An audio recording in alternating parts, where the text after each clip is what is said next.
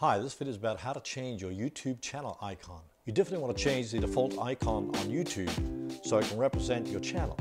You might want to upload a logo or even a profile picture of yourself. Your channel icon appears on the top left side of your YouTube channel banner and on the top right side of your channel homepage. It will also appear on your Google Plus page that is linked to your YouTube channel. Plus it will also appear next to your comments. Stay tuned to learn how to change your YouTube channel icon. Hello Drost, DrostDesigns.com. To change my YouTube channel icon, I simply log into YouTube channel, click on my channel.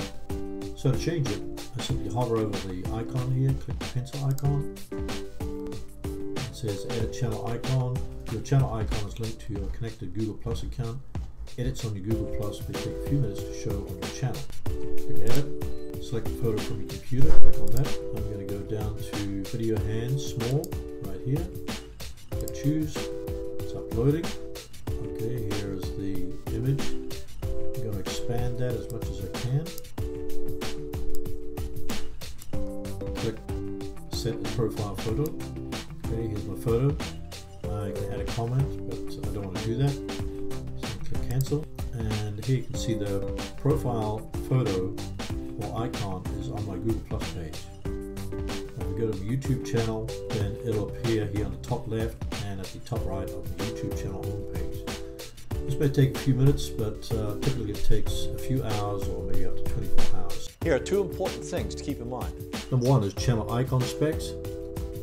Use a JPEG, GIF, BMP, or PNG file. Recommended size is 800 by 800 pixels. And it'll be a square or round image that renders at 98 by 98 pixels. Number two, your channel icon will display on different devices.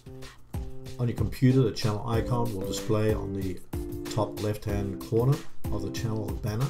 On an Android device, the channel icon will appear as a rounded image at the bottom left of the channel art. And on iOS devices such as Apple iPhone, the channel icon will appear as a square image below the channel art. That's it. Now you know how to change the icon or profile picture on your YouTube channel. Click this image to download my video upload checklist. You'll learn the 10 things that you need to do before going live with your video on YouTube. Click this image to download it now or click the link in the description below this video. Thanks for watching.